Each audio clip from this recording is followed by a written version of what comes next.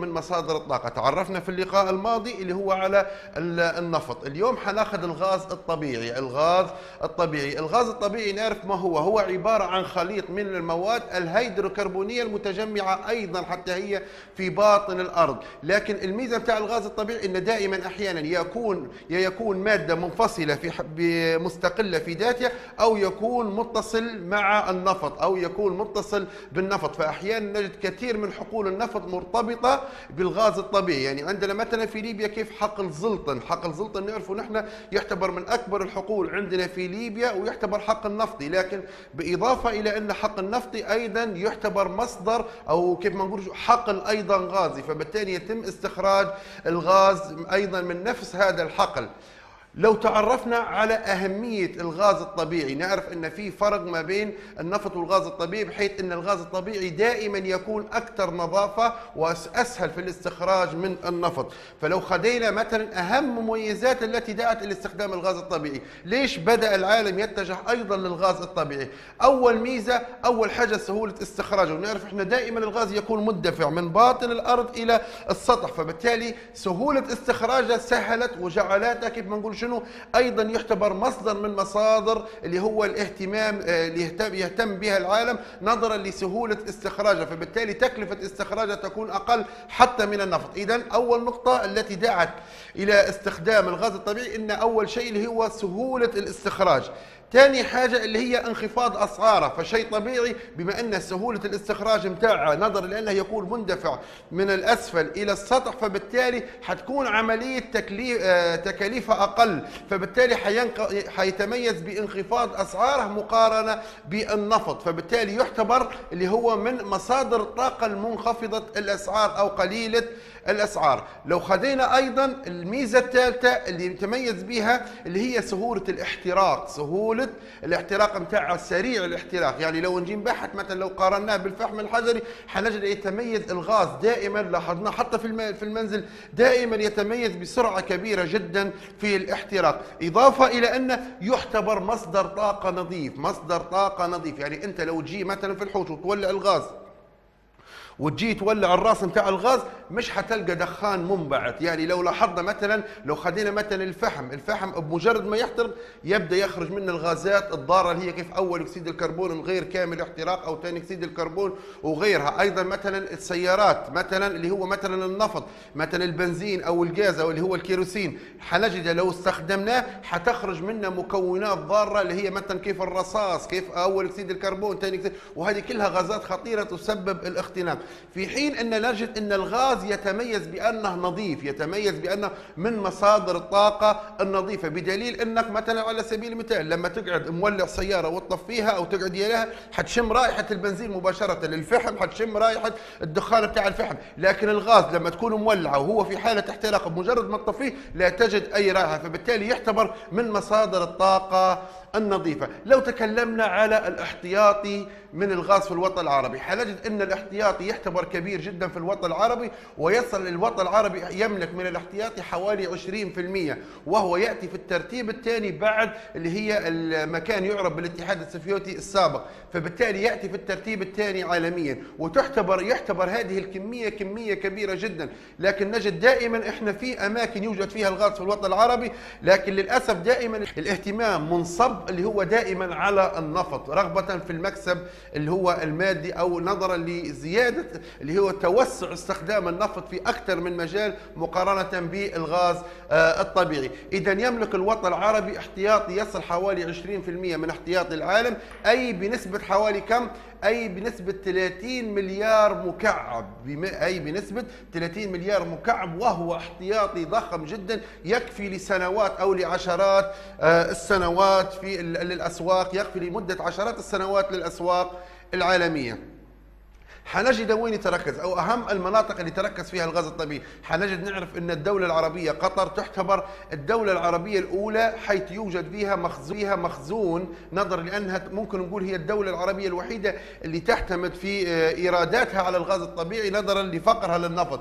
فبالتالي تعتبر المنطقة العربية الأولى وتملك الاحتياطي الاحتياطي اللي موجود عندي في قطر يصل حوالي إلى 28% ونلاحظ رغم صغر مساحتها. إضافة إلى عندنا السعودية 16% نظرا لاهتمام السعودية بالنفط على حساب الغاز. عندنا الجزائر حتى هي من كبرى الدول العربية حيث تملك احتياطي حوالي 12% عندنا العراق 10% الكويت 5% ليبيا 4% ثم عندنا مصر وسوريا 2% لكن نجد دائما لو لاحظنا نحن في التركيز أو توزيع اللي هو الغاز إن نجد إن الدول النفطية دائما الغاز فيها رغم إنه يعتبر احتياطي كبير لكن نجد دائما اهتمامها دائما منصب على النفط وبالتالي حنجد دائما إن دائما إنتاجها النفطي يكون دائما على حساب الغاز آه، الطبيعي.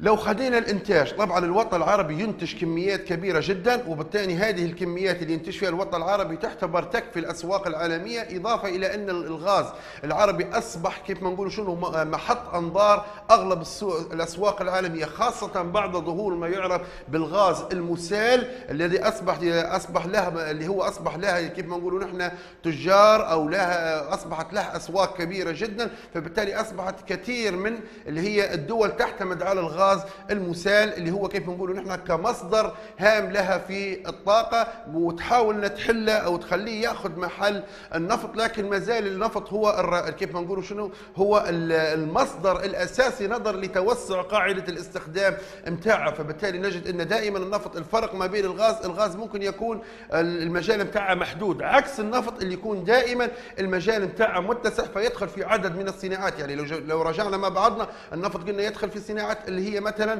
وقود الطائرات اللي هي يدخل أيضا في وقود القاطرات في وقود السيارات بمختلف أنواعها اللي هي الديزل واللي هي البنزين. أيضا في الشحوم اللي هي تستخدم اللي هي في صيانة عدد كبير جدا من الآلات وتحريك الآلات في عدد من المصانع. الزيوت بمختلف أنواعها وبمختلف أشكالها. فبالتالي اللي أعطى اللي أعطى النفط أهمية انه واسع الانتشار ومتعدد المجالات مقارنة بالغاز الطبيعي. طبعا الغاز الطبيعي عندي نوعين. إحنا لما عرفنا من بدري الغاز الطبيعي قلنا يكون مختلط يا منفصل إذا حنجد عندي نوعين من الغاز الطبيعي. عندي الغاز الحر الغاز الحر اللي هو يوجد حقل خاص بالغاز فقط. يعني ما يشتركش ما يكونش معاه نفط. يطلق عليه اللي هو الغاز الحر أو المستقل وهو يوجد مستقل لا يرتبط استخراجه باستخراج النفط. عندنا بعض الحقول. نحن عندنا في ليبيا اللي هو عندنا الحطية والتحدي وهذين يعتبر حقول خاصة بالغاز. الغاز فقط حقول خاصة بالغاز. عندنا مثلا عين صالح في الجزائر. إضافة إلى مثلا قلنا عندنا النوع الأول اللي هو الغاز الحر عند النوع الثاني اللي يسموا فيه الغاز المرفق. الغاز المرفق وهو اللي يكون مرافق للنفط وهو الذي يكون مرافق للنفط. يعني تلقى الغاز والنفط موجودات مع بعضهم يعني تلقاهم في نفس المكان. لكن دائما نجد أن للأسف انه يتم أغلب اللي هن اللي هن كيف بنقول اللي تكلمنا عليهم اللي هن الغاز أو حقول الغاز المرفقه بالنفط دائما تشهد نوع من الإهمال النسبي نظرا للتركيز على النفط على حساب الغاز. فلو لاحظنا أهم حقول اللي هي المرفقة اللي هي غاز ونفط عندنا حقل زلطن اللي هو موجود عندنا في ليبيا ويعتبر من أكبر الحقول. أيضا عندنا أكبر حقل في الرافدين اللي هو حقل كركوك وهو يعتبر حقل اللي هو اللي هو يعتبر حقل مرفق ما بين الغاز والنفط إضافة إلى حاسي مسعود وحاسي الرمل اللي هن موجودات في الجزائر. طبعا عندنا كم كبير جدا من الحقول المرفقة وعندنا أعداد كبيرة جدا من الحقول الحرة, الحرة لكن نحن نكتفي بعينات لبعض أو أهم هذه الحقول. إذا قلنا عندنا نوعين من الحقول. إذا ينقسم عندنا الغاز غاز حر وهو الذي يكون مستقل يعني حقل خاص بالغاز أو مرفق يكون مصاحب مع النفط يكون مصاحب مع النفط. لو لاحظنا مثلا عندنا هنا خريطة ممكن توضيحية للغاز يعني ممكن اللي هو تبيين الغاز المرفق لما دوينا بدري والحر دائما نجد معلش لو لاحظنا هنا حق النفطي حق الغاز حق النفطي حق الغاز اللي هو هنلاحظ المثلث الأسود والمثلث الأبيض اللي هو حق الغاز. حنجد دائما الغاز دائما مرفقات. مع بعضهم في الغالب ريت؟ حنا مثلا عندنا الواح هذا عندنا موجود في ليبيا. هذا غاز وكيف ما نقول إحنا غاز ونفط. أيضا عندنا في أيضا عندنا في الركن اللي هو الجنوب اللي هو كيف ما نقولوا وسط ليبيا اللي في الناحية الغربية.